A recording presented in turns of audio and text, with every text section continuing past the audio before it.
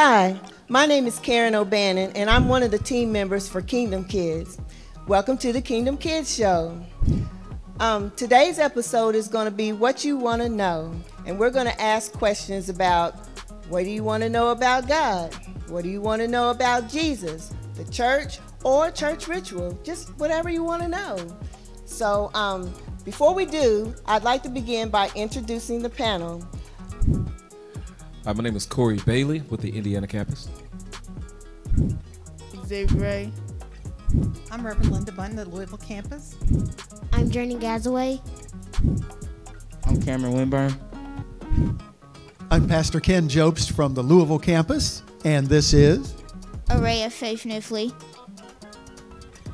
Hello, everyone. I am Minister J. Rene from the Hardin County campus, and this is. Tenleigh Brooks Hamilton. And wait a minute, and this is. Bryson Stark. Bryson Stark. Is God God or is Jesus God? Yes. Yes, God is God, and yes, Jesus is God. And, and that's one of the special things about Christianity. That in Christianity, we have an understanding that we call the Trinity that God the Father, God the Son in Jesus, and God the Holy Spirit, three in one. Yes, and just for a practical example, if you look at your father, he's a father, he's a son, and he's an uncle. He's the same individual, but just in three persons, in one person. Yeah, and I think that's a, a great question to start off with because of the fact when you think about the fact that Jesus was the embodiment of God with us here on earth. So if you know Jesus, then you know the Father. As scripture tells us all the time, he says, I and the Father are one. Yes. So, great question. Well, my question is, um, does God make mistakes? That's a very good question. Can God make a mistake? Has God ever made a mistake? And it turns out God doesn't make mistakes. Sometimes we don't understand all that God is doing and we only see a little sliver. And so we might jump to a conclusion. But God doesn't make mistakes. So if we think God made a mistake, we just need to pray for a little bit more understanding. And God doesn't mind that a bit. And I also think that when we trust God and let the time work out, we'll see how everything works perfectly. So things God never makes a mistake in the fact that everything always works for the good. And I think if I could just really quick to jump on that, because of the fact sometimes things may not work out the way that you want them to. And even then, while you may not fully understand it, what you can know is that God does not make mistakes. And it may seem insensitive at the time to say that because it's a hurtful situation you're going through. But the reality is, if you trust Him, just like uh, Minister Rene said, if you trust Him and just wait and see it through, that's when you'll begin to see the, the truth of the matter that God doesn't make mistakes. It's all designed. Because if he does, he doesn't make a mistake, but what he does for us when he teaches us, he turns the lights on in our eyes and our mind that we see it better and we understand it better what God was really doing. And that you get that as you grow. Okay, I'm a, I'm a, I'm a, I got to do just one more thing. As men and as mankind, because we live in a sinful world, when things when things happen uh, that we don't understand, we can't always blame it on God either. Uh, God loves us so much that even when things happen, He brings them all in together and still makes a beautiful thing from it. Why can't we see God? I can take that one. Because God is spirit. And so we can't see him because he's spirit. But guess what? We may not be able to see him, but we can feel him. When the wind blows, that's God blowing the wind. When the trees move, because he created the trees, we see the trees move and we see the spirit of God. So we can't see him, but we can witness what he's doing. And, and this is this is a really really special time. This is a special time when you get to use your faith. because the Bible tells us there, there's going to be a time coming when we're, we will see God, right? But this is a special time that, that we can trust God without having to see God with our eyes. We can see God with our heart, maybe, and our spirit. But th- this, is, this is the time when we're supposed to build up our faith. We can also see God in the kind acts of people. When people are kind, or when you needed help and you never asked for it, and they reached down to help you, drop something, or you fell down and they offered to pick you up, you're actually seeing the hand of God at work trying to help you. I was just going to say there's evidence of God all around. And when you see the beauty in the earth, when you see beauty in circumstances, you can see God uh, that way. J- just like Jesus says, Have I not been with you so long? If you see me, you see the Father. And, and let me say this when you see the good in people, you see God. What does heaven feel like? T- See, I thought we had a deal. See, these were supposed to be easy questions. That's what I thought, right? But no, thank you so much. That was a great question. What does heaven feel like? So I'll tell you this I cannot speak to what heaven feels like. But what I can tell you is that when I personally have felt myself the closest, being close to God or walking in the will of God, I felt like that was heaven to me when I was doing things I knew I shouldn't have been doing, then that's when I felt the furthest away from God, and I knew that that wasn't the place for me. But when I feel that I'm walking with Him, when I feel that He's talking to me and I feel His presence, that's what I can say that for me, that's what heaven feels like. What the Bible tells us, tells us about heaven is that we already talked about God doesn't make mistakes. So in heaven, there's peace. In heaven, nobody gets angry or upset. Nobody's crying or sad. Heaven's a place of joy where God is celebrated and honored all day and all night. The angels praise him. So heaven is a special place where we'll have peace, no more tears, no more sadness, no more crying, and all we'll have is the love of God. It, it, it's the place where every, everything is right. Everything feels right. Everything is, everything is the way it was made to be in heaven. Yes. So if I could say it in those terms, I would say it's a place where there's no worrying, no being afraid if someone's not going to like you, because you'll be loved by everybody. Um, it's a place where where you, you don't have to be afraid at all of anybody or anything. And you don't have to worry about pain. Right? That's what I believe heaven feels like. Think, think about all the time we worry about stuff, oh. and there's nothing to worry about in heaven. Th- think, oh my goodness, it, it's a it's a remarkable place. You, you all take a big smile. You can't, we can't see you with your mask on, but guess what? That's what heaven feels like. It's a happy place. A happy place. Is God a human or a spirit?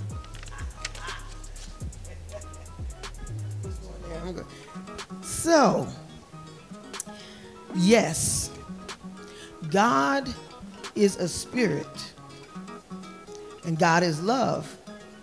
But in Jesus, he's a human. Right? Oh, ab- absolutely. Carry Yeah, that? yes. Yeah, yeah, yeah. Now, now uh, God, God was not made. So, so all, all people were made, right? People are part of creation. They're, they're part created order. But, but nobody made God. God. God was already there. Exactly. And I think what also could be said about that is the fact that that's a great question. Great question, right?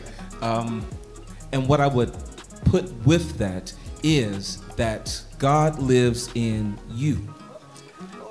And so, as you are going to school, as you are interacting with your friends, as you are just in your space that you are, you God is living on the inside of you. So no, you are not God, but God lives in you. Help? Actually, you were created in the image of God, so you bear His likeness. So that means you should resemble God. So when you're at school and the things you do, even at play, you have to act more like God, meaning you don't treat people mean. If they say mean things to you, you don't respond back in a mean way. Uh, and that's hard to do, isn't it? Y'all don't have to answer, but I'll answer for myself. It's hard to do sometimes when people are mean to you. You want to respond mean, but if you're looking, if you're acting like God and you have God in you, you ought to respond in a different way, in a better manner, right? Just like to say that if someone's being mean to you, you don't get mad at them. Just repay it back with love. Preach, little lady. Well, very well said. Very well said. How did God get here to create the world? very carefully. How about that one? Very, very no, but no, real. Um, man, great question. Great question. So we have, as pastor has preached here in the past, this whole month, he's been talking about the creation story and everything. So there's a creation story in Genesis where it talks about how God spoke things into existence, and then there is the creation story where it talks about how he made things with his hands and, and they came as a community to create things. So there's this huge, uh, honestly, it's a scholarly argument, right? So it goes deep, right? There's a whole lot of stuff that goes along with it. But to answer your question, what we will say is that God created the world and everything in it with all of us in mind, with purpose and intentionality.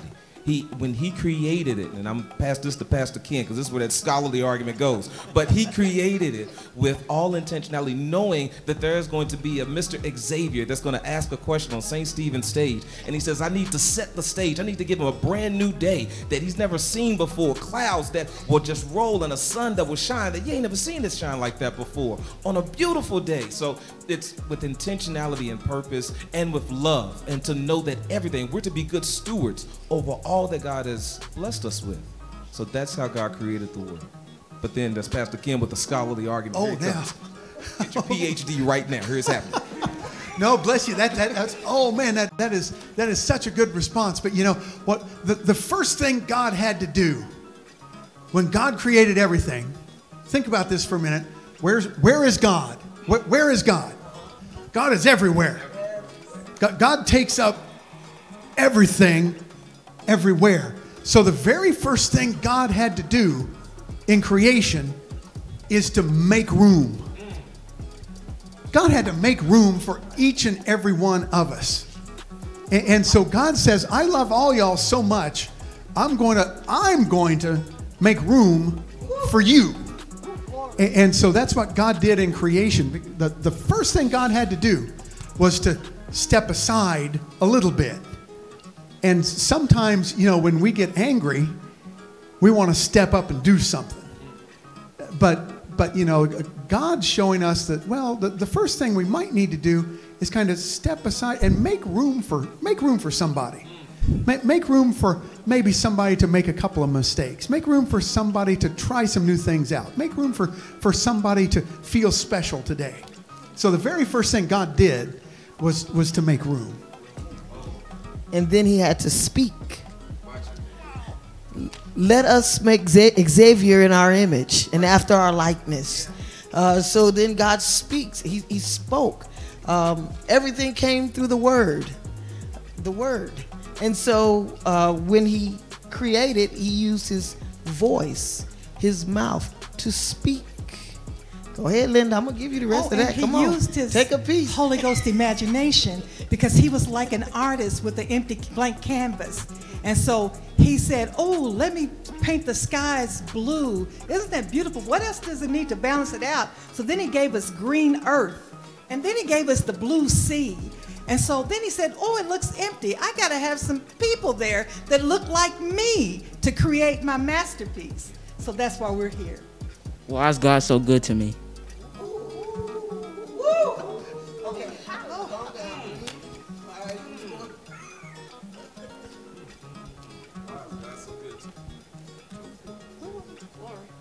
Nature is good. Um, he doesn't know any other way. He's a perfect God. He makes no mistakes. We already talked about. So he's good. And guess what? He's even good when you're not good.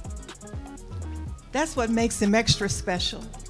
That he looks at us and says, But I know what my child, my son, and my daughter needs. So he gives us his goodness. Because when he created everything, he said it was good. And so when he created you, he said, It was good, Cam. I, I, I like you. So I'm going to be good to you, Cam. Cameron, he also he can look at you and see you for who you will be in the middle of who you are. So the goodness that he see, you're already good, but you can't see it because you're walking through the process. But know this: when God looks at you, He sees good, and He treats you the way He sees you. He created you good. You will be good, but you're just walking through the process, baby. So that that that question is one of those questions that usually get a shout started oh, when you start talking about the goodness of God. And I know, right, at, at the age that one is, is sixth grade or fifth grade or something to that effect, you may not necessarily see all of the things in which a grown up may see. But when you think about the goodness of God, you're talking about grace and mercy and how God will hold some stuff back that you deserve. So listen, let me let me go ahead and put it like this, because I used to be, I know I don't look like it, but I used to be like 12 and 13 at one time in my life. I was there. And I remember mama told me, don't go outside when I leave. I went outside anyway. She ain't home. She don't know I'm gone. I went outside, I'm playing, but she came home earlier than I thought. So listen, that's a problem. I came home, I'm all dirty and muddy. She knows I've been outside. She asked me where I've been, and I've told her I just went outside just for a second, blah, blah, blah, and whatever the story was, right? The problem was what I deserved was a punishment. But what she did, she says, listen, here's what I'm going to do for you. I want you to sit and think about what you did. And I ought to give you this, but I'm not. I'm just going to make you sit there and think about it because anything could have happened to you. So let's fast forward that and put this in your perspective as God is concerned. So much is happening in the world, and anything could happen at any moment. You could go to the store and not come back home because anything crazy could happen. But God is so good. What God will do for you is He'll hold some stuff back that maybe you deserve to get in trouble for whatever the case may be. But God loves you so much. And when you talk about it, why is he so good to me? I don't know. All I know is that his love is so great that he loves us beyond our faults and sees our needs. Who made God, Mary, and Jesus? Who made God, Mary, and Jesus? Right? So so so watch. Nobody made God. And, and, and that's so hard for us to understand that, that you know, that's one of the most, the, the, the biggest thing to wrap your head around is that before anything else was, God was already God. And so that's just a powerful thing, right? So, so people are made. People are made. Mary's a person. Mary was was made. Jesus is the the God man, right?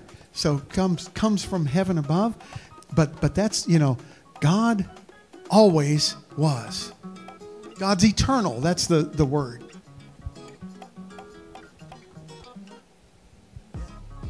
But let me add this because I think I hear two things happening.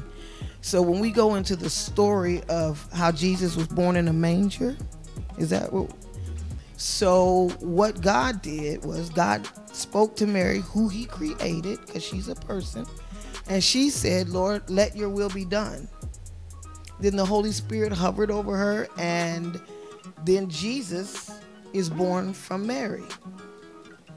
So now God is in Jesus. That's, I think, I'm trying to get your whole question here. So God created all of that to happen to bring Jesus in the earth to die for our sins. And so Jesus could identify, he, he could relate to us in our bodies and our humanity.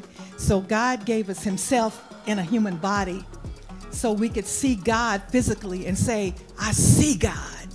You know, when Jesus was walking among uh, the people, people saw him. And what did they do? They flocked to him because they saw God in Jesus. Who does God love? He loves us all, each and every one of us. There's nothing that can separate you from God's love. Do you not know, Journey, that you can't be bad enough for God not to love you? There's nothing you can do that will make God say, "Now I don't like her no more." Now you know how we get, right? Me, right? So if there's somebody that is mean to us, well, you ain't my friend no more. I don't like you. No, I don't hang out with them no more. But God will never do that. God loved you so much that it doesn't matter how bad you you can't get bad enough for him to stop loving you. And for that alone, he just loves. No matter what, he loves. And he loves sincerely and deeply. And um, that's what I love about God. when you experience and feel the love of God, if you ever felt unloved, it's when you can feel the love of God and you know what it feels like. And you'll learn going and getting older. So I, I just want to add some more people to the list that he loves. He loves the ones that are living on the street and have nowhere to go. He loves the ones that don't know where they're going to get their next meal. He loves the children who don't have parents. He loves those who are being abused and don't know who to cry out. God loves even them. God loves those whose parents are uh, overseas and they don't get to see them. God loves them too. And God's in charge. So so watch, watch. God loves you and God's in charge. Put those together and oh my goodness, right? we find out that he'll supply for the orphan, he'll feed the hungry, he'll give parents to those that have none. That's what we'll find out. And he magnifies his love. Like when you said he'll help the homeless, he'll help those that feel loveless, and that he magnifies that and he touches the heart of Journey, he touches the heart of Cam and Rhea and says, Go love that person, or that person you see in school that is sad, and you'll go over and be kind to them. That's showing God's love that's in you. How do we connect, like really feel connected with God when we pray? When prayer, it means we have we talk to God. Do you ever call any of your friends on the phone? How it's easy to have a conversation with your friend, right?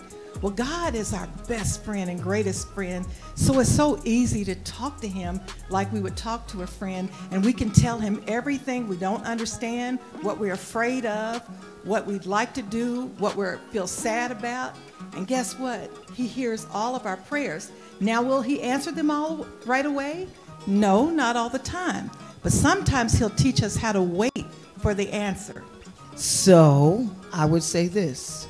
Now I I'm getting ready to jump into this, but just remember you asked you asked the question, okay? So when you get ready to pray to the Father, you don't have to pretend that he's there. But instead in your mind, just think says, you know, this is can I just tell you what I do? Okay. So I talk to the Father like I'm talking to anybody else. And if I need to really connect, I'll say, Lord, I need you right now. And then I will say, Holy Spirit, please fill me. Yes. You know, because sometimes I get bogged down, and that is my connection, is the Holy Spirit. And then I will be real with the Lord. I say, hey, God, this is what I'm feeling. I'm mad. Sometimes when we go to, to talk to the Lord, we think because of the hurt or how we feel in our heart that God doesn't want to hear that. God wants to hear everything on your heart. And when you start to pour that out to the Lord and you let it all go, He knows exactly what to do. And then you know what? People experience His presence in different ways. You'll feel your heart like a release. Or, but this is what you always do just be real. God knows every language that is spoken because He created it. So it doesn't matter how you speak to Him, what language you speak to Him in. When you speak to Him in truth and with your whole heart, you will feel your connection with God because He's not imaginary. Just because He's spirit and you can't see Him doesn't mean that He's not real. Just remember in your heart to know that God is real. And like you're asking us questions today, God loves our questions because God has every answer that we need. So he's not afraid of your questions. So don't be afraid to ask him things you don't understand. When you're in school and you're studying and you, you know you got a test coming up, you're not sure you're going to pass it, uh, you know, just don't get frightened. Talk to God about it. Tell him, Lord, I'm, a, I'm scared. I studied, but I can't get some of this. I don't understand it. You got to turn the lights on for me, God. Help me to understand it. And he will. And I'm surprised that Rhea asked that question because Rhea gave me the phone number to God just as we were sitting there before. She told me it was 777 call heaven. Wasn't that? She, so how did she ask that question? She, Go on, Rhea. And I, I want to just kind of piggyback on, on the one thing that uh, Minister Williams said. Just because you can't see God doesn't mean God is imaginary. It means God is spirit, right? So, so there's God is not a pretend thing. God, God is very real, but we see Him with eyes of faith. And, and when we pray, we can we can say whatever we want, understanding that God is always listening to us. And, and so God's always listening to us. Then over time, we need to be able to learn to always listen to God. Thank you all. Thank you all so, so much. I just want you all to give yourselves a round of applause for just being up here. This was absolutely, absolutely amazing. And we would like for everyone who has watched this, who is who is watching this, to like it, share it, and just to point out that Kingdom Kids is on all social media platforms: Facebook, Instagram, Twitter. You can. Uh, Visit our site on Facebook at St. Stephen's Kingdom Kids. On Instagram, we are SSC underscore Kingdom underscore, underscore Kids. And on Twitter, we are at Stephen Kids. So, really quick, thank you, Minister Cory Bailey, Minister Linda Bunton, Pastor Ken, and of course, J. Rene. Thank you, thank you so much for being a part. Youth, thank you all so much. Those were awesome questions, awesome questions. And I even learned something. So, there's always growth in our faith. Thank you again for watching Kingdom Kids and stick around. Uh, See us on the next show, and just remember wear your crown.